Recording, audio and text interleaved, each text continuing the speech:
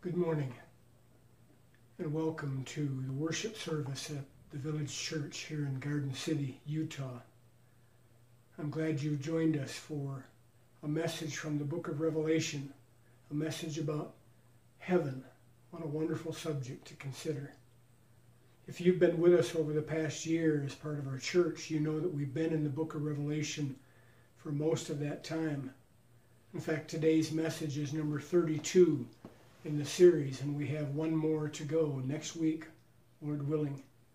So I want to encourage you to turn in your Bibles to Revelation chapter 21, or if you're using a Bible app on your phone, you can look up that text. Revelation chapter 21.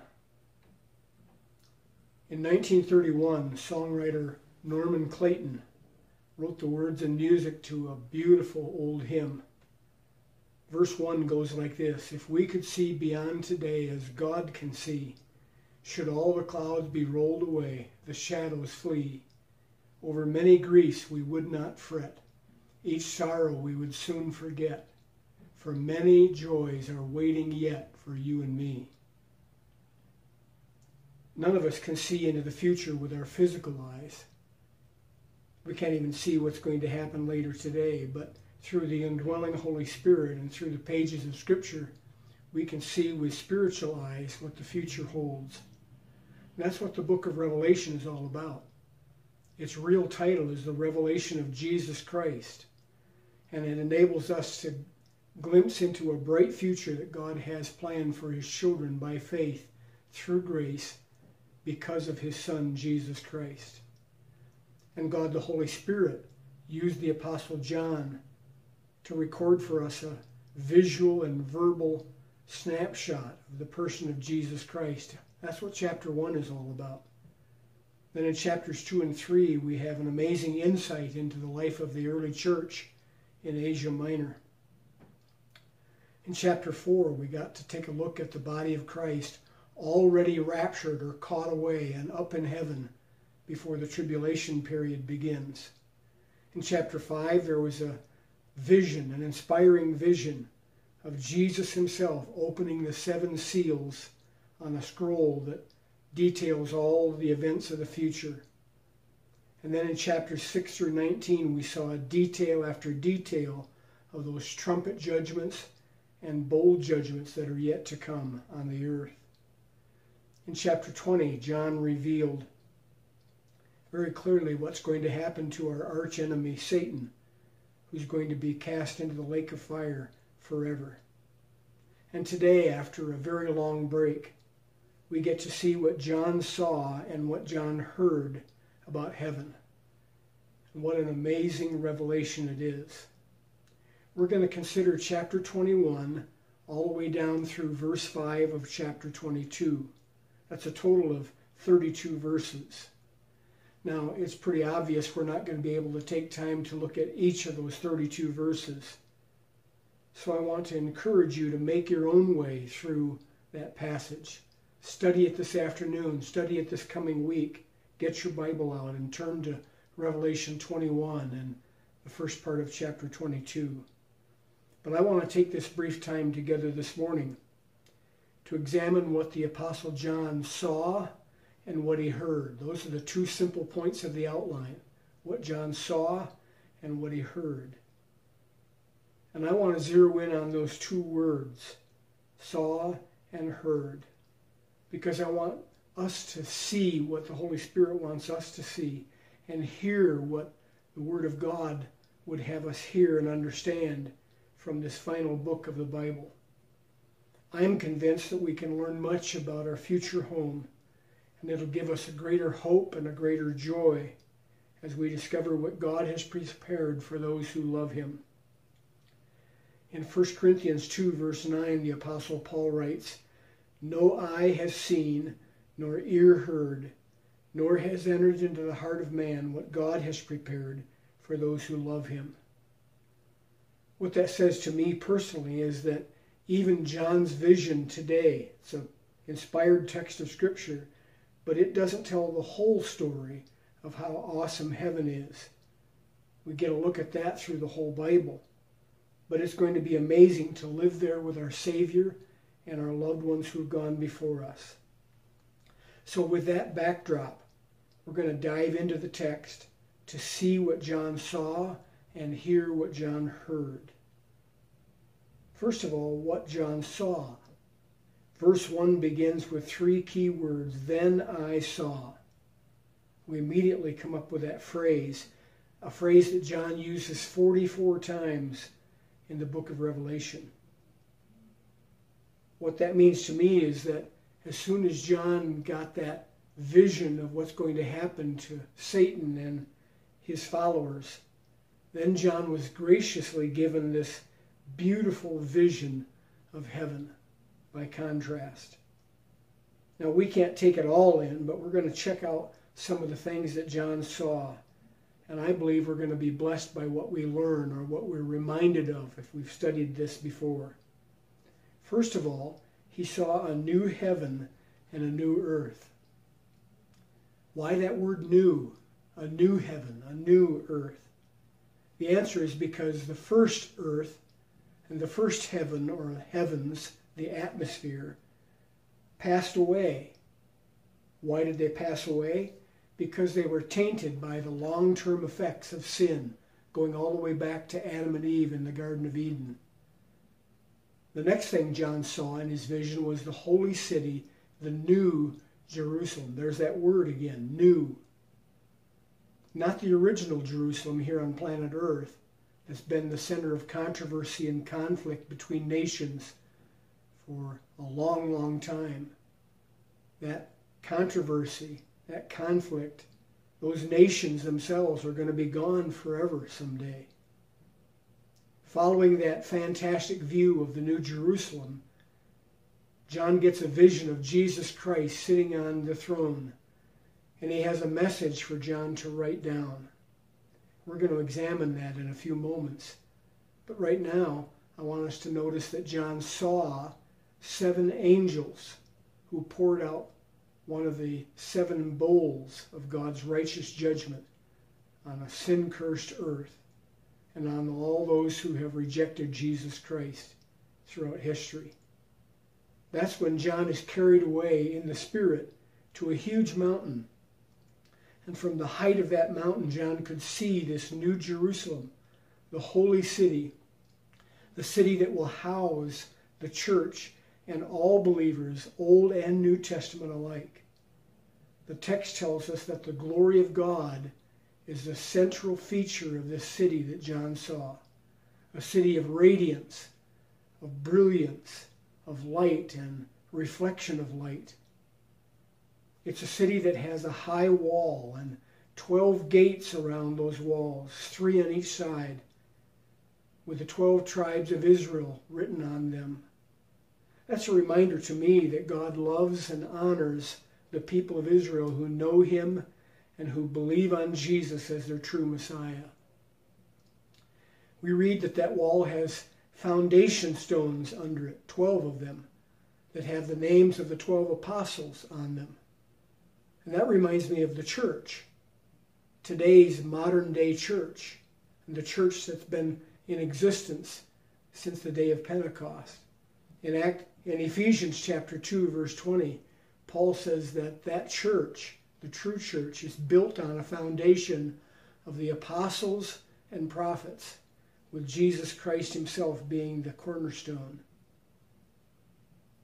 John tells us that this angel who spoke to him has a measuring stick and he measures the city, and it is huge.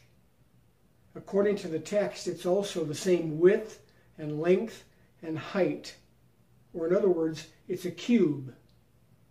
It's a city that is more than big enough to handle all of the people who've put their faith in God throughout human history.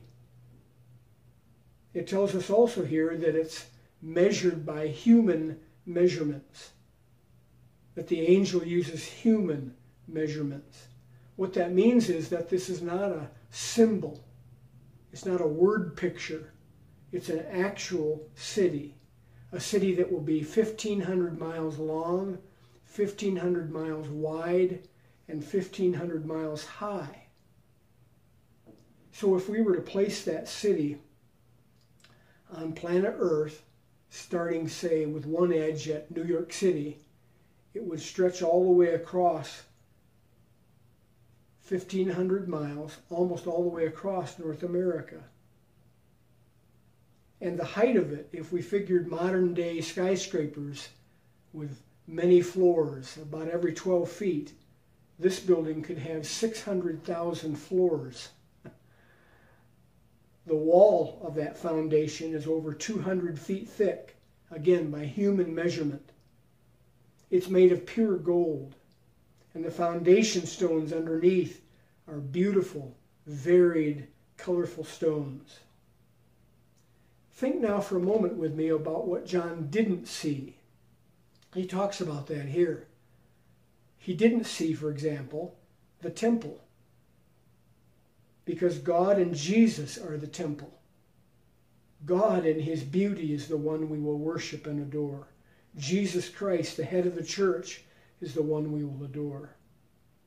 John also didn't see the sun or the moon, and that's because God's glory gives the city light. And Jesus, the Lamb of God, as he's called in this text, is also the lamp of God that will never go out. John also didn't see anything unclean or detestable or false. All of that is going to be gone forever from the presence of God. And it means that as Christians, when we're there, we're not going to have to think about what life was like on earth during these days of sin and debauchery. Finally, back to what John did see, he saw a river of life flowing from the throne in the middle of the city, and 12 different fruits that grow on the tree of life on either side of that divine highway. I love what the late Dr. Warren Wiersbe says in his commentary on the book of Revelation. He calls this New Jerusalem Garden City. I like that because I live in Garden City and I love this place. I want to emphasize two things that we need to think about before we consider what John heard. First of all, in chapter 21, verse 10, John says that he was in the Spirit. He said the same thing in chapter 1, verse 10, at the start of this magnificent revelation of Jesus Christ. He was in the Spirit. And from what we know from our Bibles, about being in the Spirit is that any Christian can live their life in the Spirit, not just the apostles like John. Galatians 5:16 talks about us walking in the Spirit. The book of Jude, verse 20, talks about praying in the Spirit. And Colossians chapter 1, verse 8 speaks of loving each other in the Spirit. So, what we learn then is that being in the Spirit means being under the control of the Holy Spirit, being in line with the Holy Spirit. Or, my personal favorite definition, being under the power of and the enablement of the Holy Spirit. So, you, if you know Jesus as Savior, have the Holy Spirit living in you, as I do, and you can serve Him effectively in the Spirit. The question is are you willing to let Him enable you and empower you to do His will and to serve God? Will you do that? That's the question. We're going to have an opportunity in heaven someday to serve God for all of eternity. I'm not sure what that's going to look like. And if it's 24 7, so to speak. But the second thing I want to think about is that we discuss what John saw in this text. And I want to emphasize that because we too can see what is most important to see spiritually. And we can process that in our daily lives with God's help.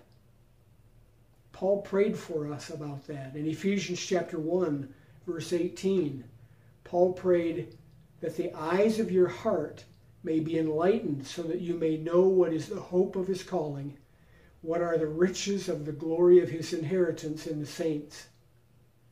One of the greatest blessings we have is that we can see with those spiritual eyes, the eyes of our hearts, Paul calls it. We can see the wonderful inheritance that's waiting us eternal life in heaven for all saints, all believers. And we get to experience that because of God's grace.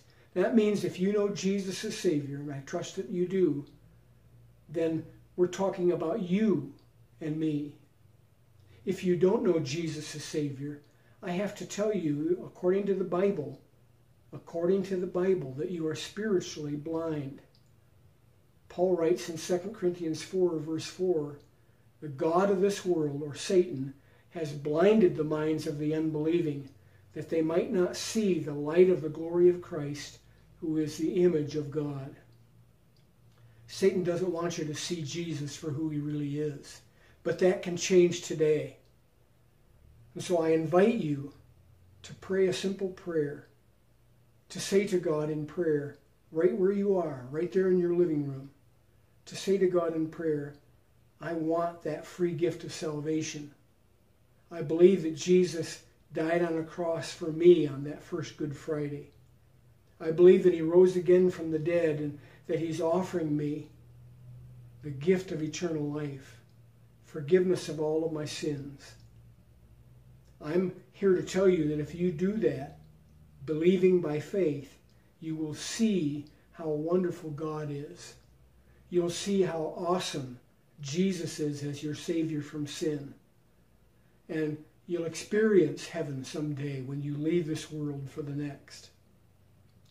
Now let's go back and consider what John heard.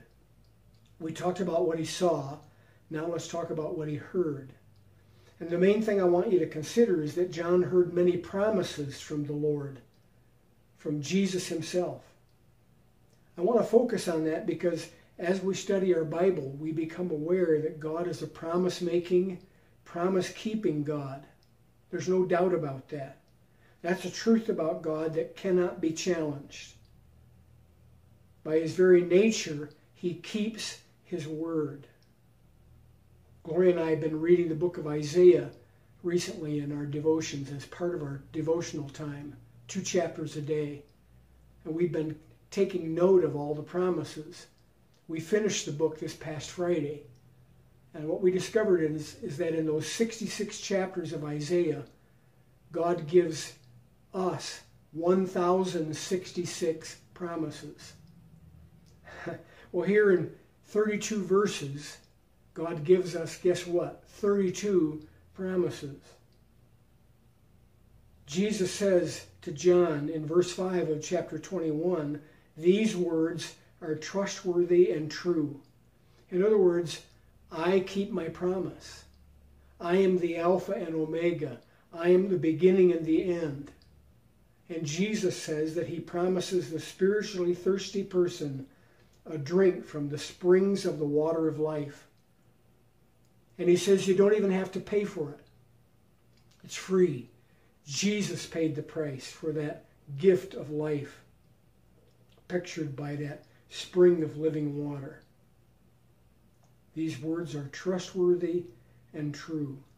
God promises all true believers, he calls them overcomers or conquerors. He promises us a beautiful heritage. That heritage is this God is our God. We are his children. I can say today, God is my God. I am his child by faith. And nothing and no one can change that. So those who are conquerors in Christ, every believer who's walking with the Lord, Paul says in Romans chapter 8, verse 37, actually, that we are more than conquerors through him that loved us. We can take God at his word. We can take Jesus and his words to be trustworthy and true. I can say today, God is my God. You can say today, if you know Jesus as Savior, I am a child of God. Jesus promises, beginning in verse 24, that nations and kings will bring the glory of their kingdoms into that new Jerusalem. He also promises that nothing unclean will ever enter that city, particularly unclean people, but rather only those whose names are in the Lamb's book of life. That's a statement that's true of every single Christian. Your name, if you're a believer, is in that Lamb's book of life, and mine is there as well. In verses 3 to 5 in chapter 22, he promises that God's throne will be central in the city and that his servants, his children, will serve him there. What a wonderful privilege. We will get to see Jesus face to face and have his name written on our foreheads, and that will prompt us to want to serve him any way he chooses to use us. But the most inspiring promises are found in chapter 21, beginning in verse 4. I call them inspiring promises because they deal with our life right now, our real, raw human existence here and now. And I call them no more promises, no more death, no more mourning over all the problems of our world, no more crying. In fact, our tears will be wiped away and no more pain of any kind physical or emotional, psychological. All the things we experience now that are negative will be gone forever. You and I both know that no mere human being can make promises like that. Only God can. So I pray as I wrap up this message that we all will see what God has prepared for those who love Him, and that we'll all be excited to contemplate heaven as our final destination. I pray too that we will hear what the Holy Spirit is saying to us in our hearts and minds, that we'll ponder the Word of God every day, that we'll read the promises God has made, thousands of them, and we'll know that He will keep them, every one of them, and He gets all the praise. So Norman Clayton was right. Many joys are waiting yet. I want to pray for us as we close this time together, and then I invite you to stay tuned and you'll be able to hear some wonderful hymns about heaven. Bring praise to God. But let me pray right now. Father, I thank you for your word. I thank you for the book of Revelation, especially this latter part of the book that talks about the glories of heaven. I thank you for the promise that those who know Jesus as Savior will be in heaven someday, in your presence, face to face with Jesus forever, and that we'll have the privilege of serving you for all of eternity. And I pray today for anyone who's watching who isn't sure if they know Jesus as Savior, that today they'll make sure right where they are, right there in their home, give their heart to you and trust you as Savior, and then know with assurance that someday they'll be in heaven too. I thank you for that wonderful truth, and we give you praise in Jesus' name. Amen. Again, thank you for joining me today. Please stay tuned and uh, listen in on these hymns. If you know them, sing along. If not, just enjoy the music as a praise to God.